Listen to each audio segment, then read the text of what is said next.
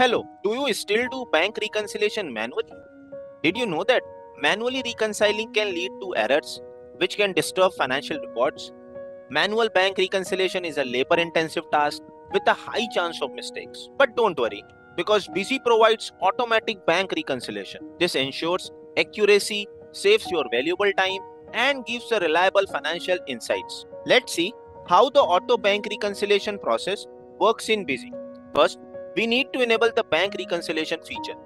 To do this, go to Administration, Configuration Feature and Option, and select Accounts. From there, enable the bank reconciliation feature and save. Next, we will import bank entries. For this, go to Administration, Data Export Import, and select Import Bank Statement from Excel under Bank Statement. Choose the necessary fields to import the bank statement.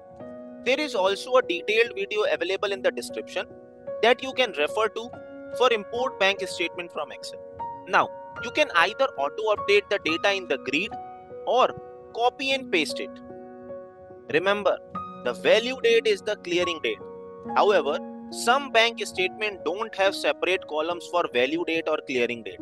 In that case, tag the date column as the value date.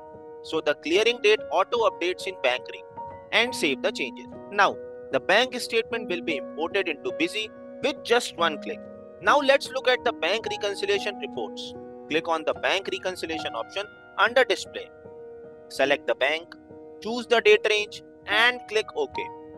Once the report is generated, you will see that the bank entries have been automatically reconciled, which you can confirm by checking the clearing date.